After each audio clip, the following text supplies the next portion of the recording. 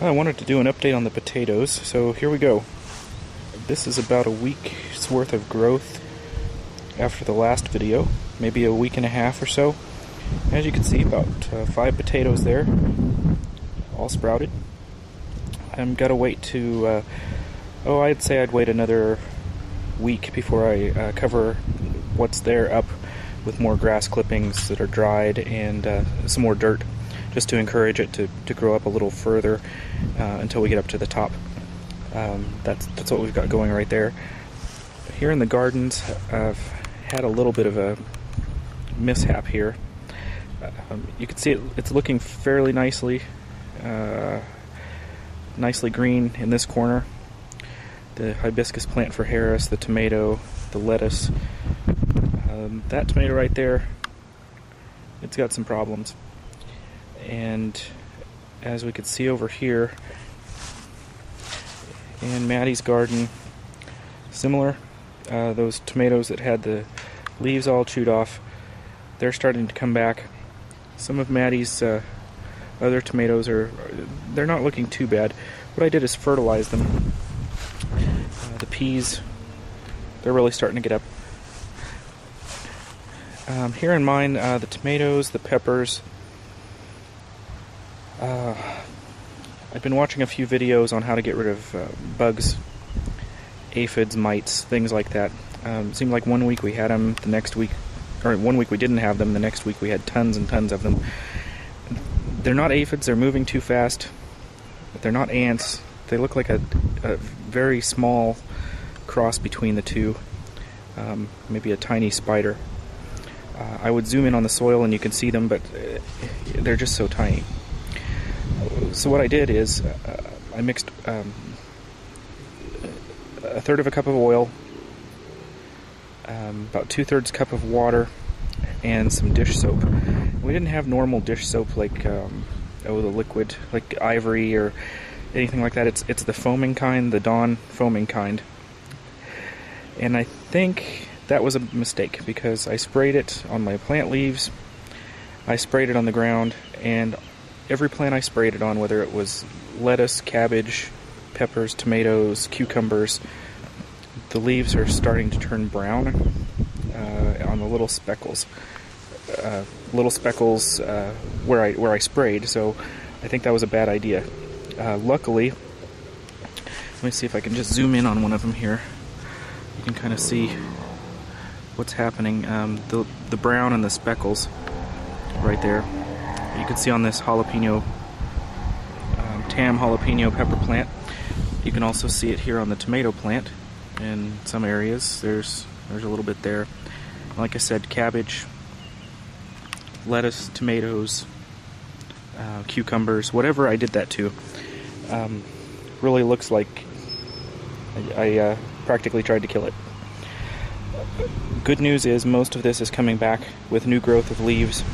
Here, this is in my other garden. Um, what I've got, there's a little baby asparagus that's coming up. There's another one over here that uh, I can't even see looking at it normally, so I'm not even going to zoom in on that. Uh, corn is doing very well. And uh, all together we probably have uh, 25 or 30 corn plants still. I've replanted some. Uh, okra. There's an okra coming up. There's another one there. Uh, there's another one right there. Uh, in the middle, I've got the asparagus. I've got watermelons and Tigger melons on the side. They're not doing as well as I would have liked at this point. Uh, I've had to replant a couple of those uh, just because they've died. But the corn, I'm, I'm really excited about that. Behind the corn and between the okra, there's not a lot of room, but I've planted popcorn, and that's coming up right now also. Let's see, there's there's one right there. And next to it, there's another one right there. Okay, this isn't the prettiest, but uh, there's a little triangle here. I've got I've got a uh, kind of a little fence section and uh, some little garden fencing here to keep the dogs out.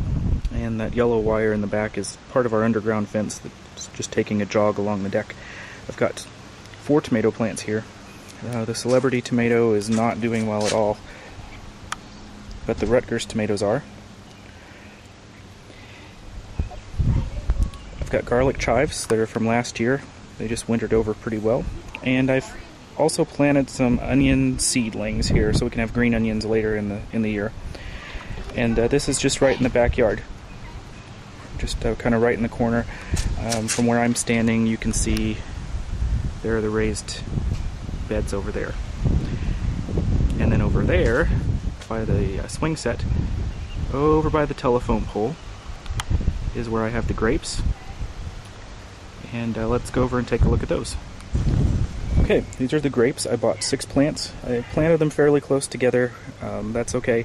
I've got a, a, trellis up here that they can climb up with fence posts bracing it.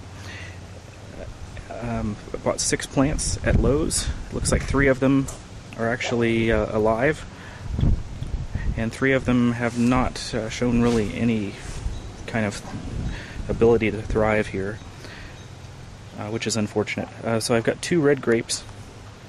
I'll have to get back with everybody on what they are. Um, I really don't remember what the type is. They're all seedless though.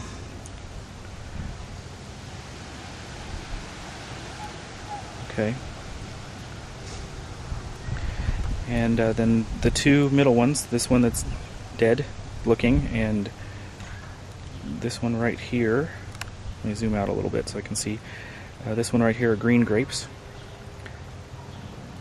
And uh, this one where none of them are growing, um, those are Mars grapes. They're black uh, seedless grapes. And there's a lot of grass here. I'm, I'm going to mulch it uh, as soon as the rain calms down a little bit and as soon as we can get some mulch out here. Don't have any right now, but we will. Now this is the part of the garden that's not really pretty at all. Um, it was, it's very rocky. Uh, the soil underneath is very good. Uh, I tried to cover up some of it with topsoil, and uh, it worked last year for tomatoes really well. Uh, right in this area, we had two tomato plants that were just got gigantic. Uh, right here is Maddie's cabbage, and uh, this is one of the plants that I sprayed for bugs and uh, you can see it has the brown spots on it from the spray probably from the detergent that I used. And uh, there's a giant sunflower. It's supposed to grow to 12 feet. There's another one right there but it's uh, if it grows to 12 feet it's going to grow 12 feet sideways. I've got two more out in the front of the house that uh, are looking a lot better than these out here. And then along here there's another yellow wire um, also for the underground fence. This was buried at one time, the uh, dirt kind of washed away. I've got to get some more topsoil in here and uh, kind of build that up. Um, what I'm thinking of doing is just for this area, since it's not well defined, uh, after this growing season I'm going to come back through uh, with some wood, uh, kind of like the raised beds, and I'm going to build it up and uh, then actually fill it with some topsoil and some garden soil and then just kind of build it up as a, a sort of a raised bed. But uh, right here, in front of the window well for the basement, I've got corn. Um, I've also got, you can see there are some gaps between the corn. Uh, I do have more corn planted. Uh, some of the seeds didn't sprout, so I went ahead and, and uh, planted some more. So we've got corn all along here and a little bit of grass I need to weed out. Corn on this side of the house, and uh, then we've got three rows here, um, three long rows up to the side of the house, and then a shorter row back there at the back. So you can see some of the corn also, sprouting up there. Um, just right here, and it's just now starting to come up.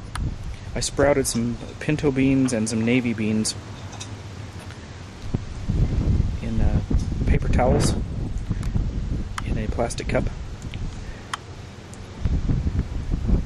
I uh, planted those last night after they had sprouted, and I planted them under the dirt, uh, fully covered up. We've got that one that's poking through already. So, right here near the cabbage, that's not looking so well anymore, we're going to have about 10 bean plants, and uh, we'll stake those up